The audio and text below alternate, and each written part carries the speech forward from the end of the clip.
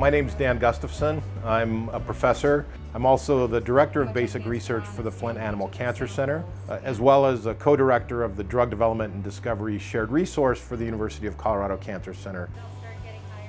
Everybody has a personal connection to cancer, and you know the big C is an important word. It's an important disease, um, and you know luckily in my career I've been able to work on something that has translation across all types of critters that I like: dogs, humans,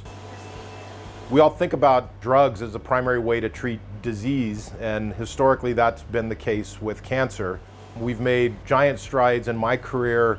making drug use better, not only by changing drugs and developing new drugs that are safer and more targeted to the cancer themselves, but learning how to use drugs to optimize their effects on, on preventing and controlling cancer while not causing so many horrible effects uh, in patients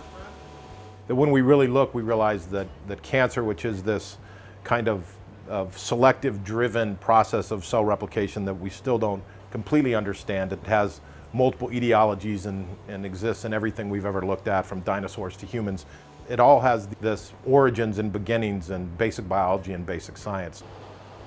When we think about chemotherapy, actually antibiotics are a chemotherapy, but they're a chemotherapy that kills bacteria. And if you have a bacterial infection, we use these drugs to get rid of those bacteria that shouldn't normally be there and get things back to the status quo. In, in cancer, it's the same way, where you're trying to take the basic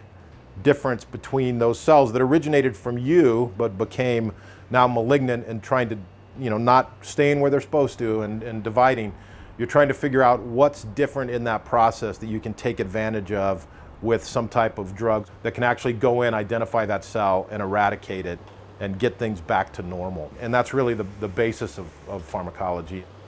We're really looking at, at ways to use uh, genomics, so uh, gene expression and gene mutation data with human and canine cells at the same time to figure out what drugs optimally we could use to treat that disease.